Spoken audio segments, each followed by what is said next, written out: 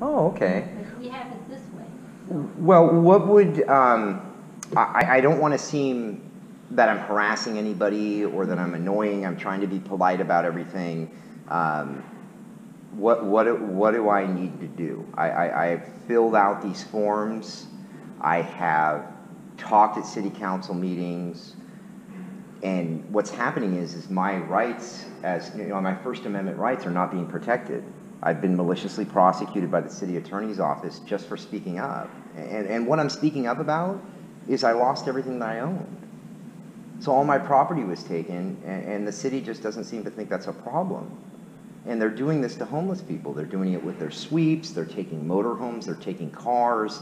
Um, they're allowing Courtesy and Meadows Tow to keep everybody's stuff, and, and it really seems like they just don't care. And, and worst part is that's a fight in itself. It's this thing. It's my First Amendment right to speak up out there. And same at the police department. And I get arrested, they put handcuffs on me, they throw me in jail.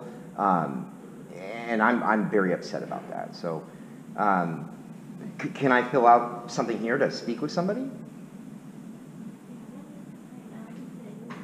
Okay, great. Thank you. Thank you.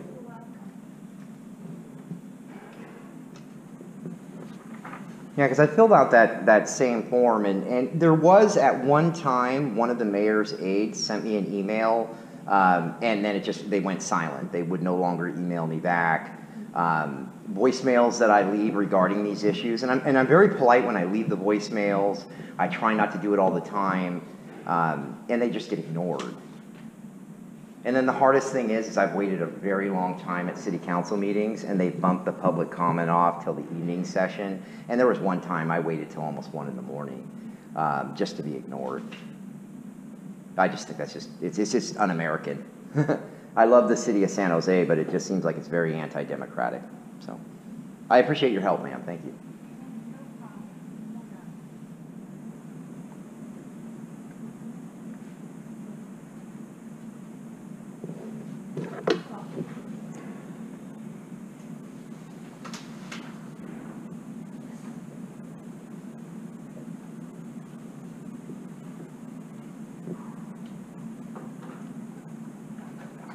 Sorry. I'm in first day. Oh, no, it's, it's okay. I, I totally understand it. You know, it should be easier than doing this where people don't have to deal with this. I mean, I, you should fill out a Oh, form, maybe. There's a pen right there. Um, yeah, yeah, I can use this one right here. Yeah, I filled out, I'll, I'll fill it out again. Um, uh, this one right here is, is, I would have to say this is probably, maybe in two and a half years, maybe the twentieth time I filled out a form like this. So, Yeah, you can sit down there. oh, okay, let me, I'll, I'll just jot it on here real quick and then I'll get out of your hair. So Scott Largent. And, and I'm sorry, the date today, it is the third. So we're gonna do eight, three, 2018. And I'm gonna go ahead and put my phone number on here, 408-482-6475. And I'm gonna put my email address, that's Scott Largent, 38 at gmail com. And my, I am in Santa Clara, but my daughter lives in San Jose, and at the time I was homeless, I was living in San Jose. So it, it always kind of gets confusing right here. Maybe, I'm worried they're ignoring me because I say I'm from Santa Clara. So why don't we just leave this blank? And open.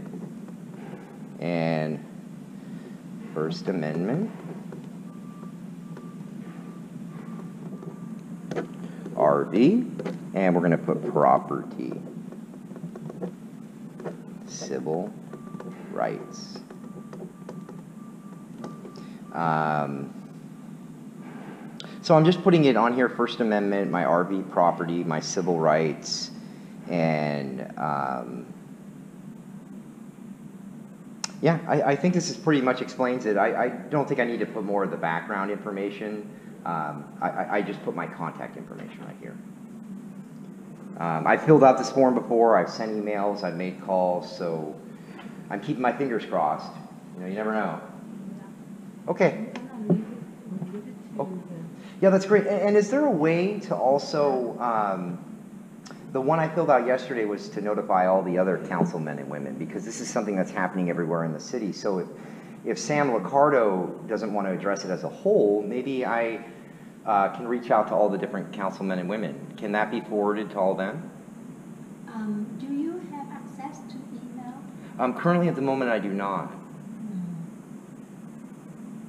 So I would like to do it this way, because a lot of times if you're living on the streets or you're coming out of poverty, um, or like it with myself, I mean, drug addiction and, and um, alcoholism, uh, you know, I ended up getting sober, but when you go through those stages, it's hard to have internet access. It's hard to have cell phone. I mean, I just didn't, I, I don't know the routes to go to get a free phone, to u- utilize the library. I mean, I understand those things now, um, but this is kind of the situation I've been in, coming in here and, and filling out a form and asking, you know, that personal relationship to talk to somebody.